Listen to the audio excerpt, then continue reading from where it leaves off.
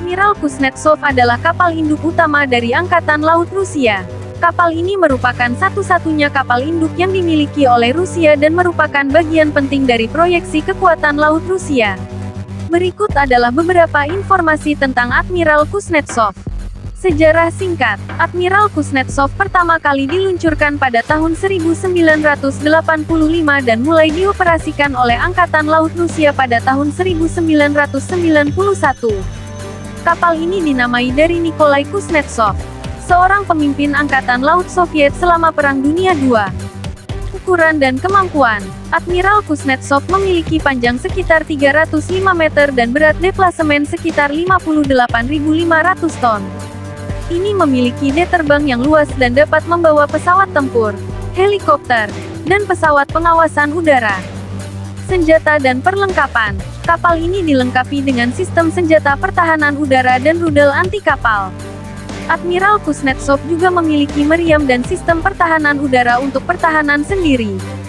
Pesawat dan operasi. Kapal induk ini dapat membawa sejumlah pesawat tempur, termasuk Su-33. MiG-29K, dan helikopter anti kapal selam seperti Kamov K-27. Admiral Kuznetsov digunakan untuk misi proyeksi kekuatan laut dan dukungan udara dekat.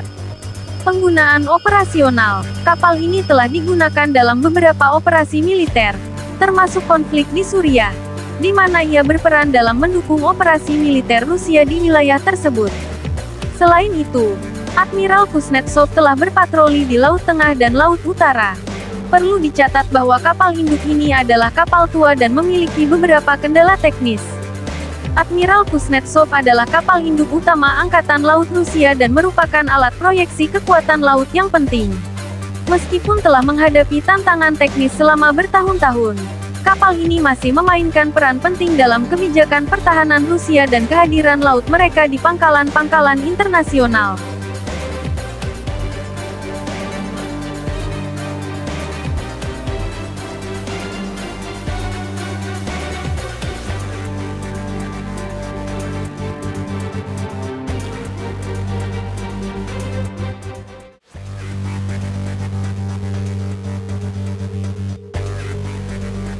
INS Vikran adalah kapal induk pertama yang dibangun oleh India dan saat ini melayani dalam Angkatan Laut India.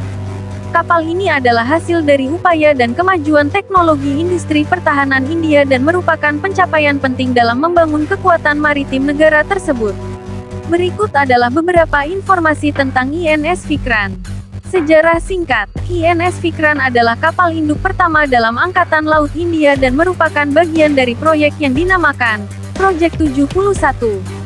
Kapal ini dinamai dari INS Vikran yang lebih lama, yang juga merupakan kapal induk Angkatan Laut India. Ukuran dan kemampuan, INS Vikran memiliki panjang sekitar 262 meter dan berat deplasemen lebih dari 40.000 ton. Kapal ini memiliki D terbang yang luas dan mampu membawa pesawat tempur, helikopter, dan pesawat pengawasan udara. Senjata dan perlengkapan Kapal ini akan dilengkapi dengan sistem pertahanan udara canggih, termasuk rudal anti pesawat dan sistem pertahanan CIWS Close-in Weapon System.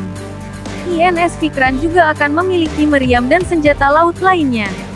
Pesawat dan operasi, INS Vikran akan dapat membawa pesawat tempur seperti Tejas, MiG-29K, dan helikopter anti kapal selam seperti Kamov K-31.